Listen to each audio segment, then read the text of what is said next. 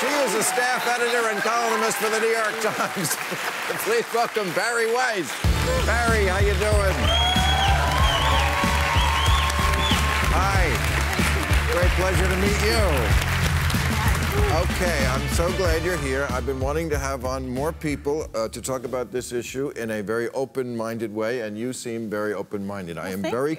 I am very concerned about a widening gap between how we, all of us speak about the Me Too movement privately, or anything really Yes. in America these days, in our, in our own homes, among our friends, and then how we do it in public. And of course, with social media, everybody has a sort of public persona. Yes. And we're becoming ourselves and our avatar. Yeah. And I like people who keep it real, and I feel Thank like you you. really have. So, first of all, address the interesting part of it, which is that the fight is really between factions of women. It's not between men and women arguing. Right. So obviously, the Me Too movement is long overdue, as we've seen today with uh, Rob Porter and everyone else.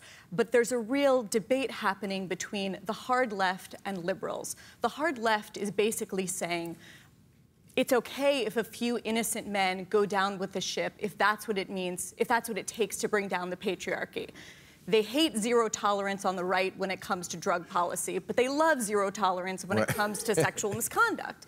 That's a problem because what it does is collapse all the categories. It means that Aziz Ansari is on a list next to Harvey Weinstein. And I don't think anyone with common sense thinks that that's reasonable.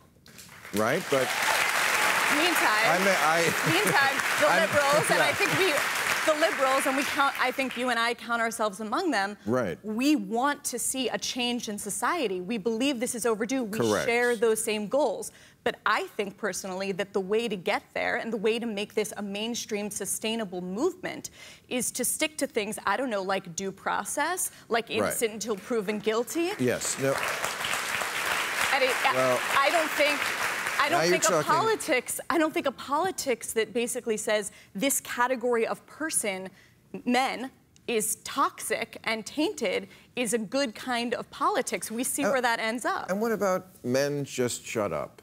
Because Oh, that- Matt Damon? Well, everybody, not just him, but any any nobody, no men spoke at the Golden Globe. Right. You know, men, men, and when a man does say the wrong thing, and Matt Damon, by the way, did not say the wrong thing. No, he said the most anodyne thing in the world. Exactly, and then he said after he said what he said, which He is rape is apologized.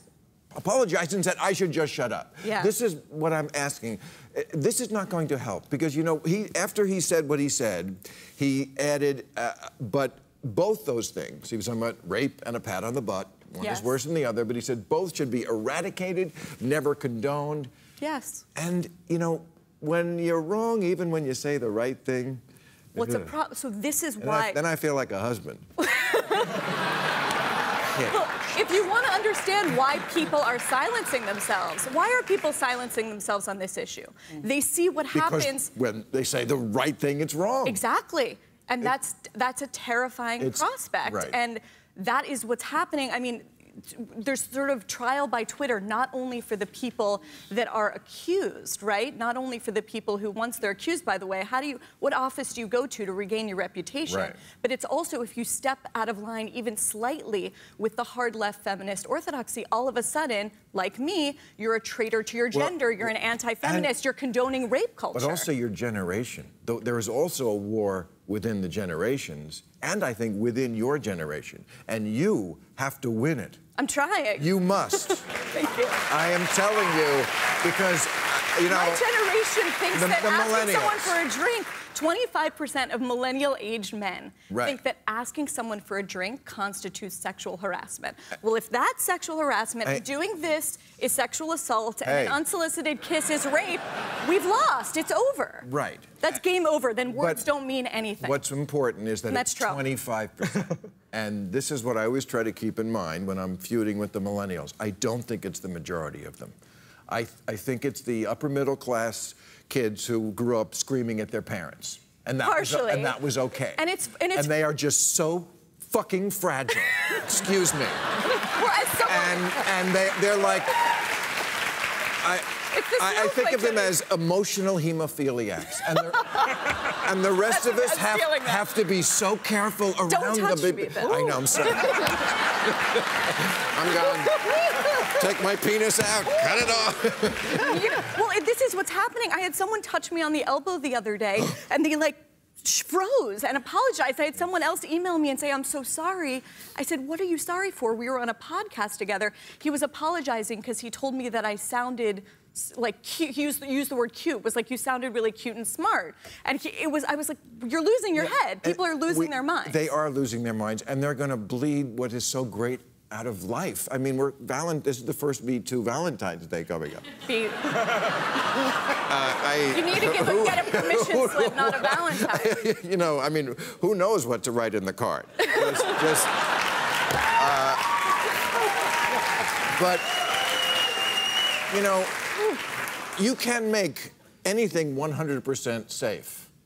A police state, they always say, is the safest place to live. Right. But you're in a police state. Correct. Okay, we don't want to do that with love. We, we've spent our whole history as humans saying it's magical, it's serendipity. A lot of it happens subconsciously. We don't know why we're attracted to somebody Right. or why it works or why somebody turns us on.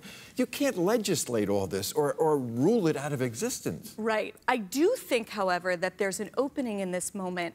One, one thing I think is true is that I was put through that system that you talked about, the snowflake factory. Right. You know, I went to a college where I was told that gender is a social construct, nature doesn't matter at all, that there's really no difference between men and women. I'm sorry, that's just, those are myths, okay? And that's a lie that the sexual revolution sold to women. And I think one exciting thing about this moment is that there's an opening for to revisit the sexual revolution. And the fact that all of our sexual conversation, you know, the conversation about our sexual culture is about consent and pain. What, whatever happened to intimacy and love and romance? Wouldn't it be amazing if that was our conversation? Courtship. Courtship. Courtship. Courtship. Courtship. But see, is there any? That's that's become a dirty word, but it No, it court shouldn't me. be. I want to be courted. Well, but, but okay, exactly. But, But that doesn't mean sex. But no, but courted means maybe pursued, which means maybe, ooh, maybe somebody got the wrong idea. And, No, pursued and you with demurred boundaries. once, and pursued now, with boundaries, and then you slowly let them in. But it's, but to me, there's a tremendous contradiction between that and then Tinder. Like, Why? Like, like- well, like you know, if you if you uh, ask me for a drink, it is sexual harassment, and if I do that to you at work, that is sexual harassment. But like uh. I'm going to do, I'm going to, but, but I'm going to do this, and in And then 20 we're gonna minutes, run like animals in 20 minutes. Yeah. That's, that, Like, yeah. that seems nuts, right? I mean, Right. Your generation, a little fucking crazy. Okay. So-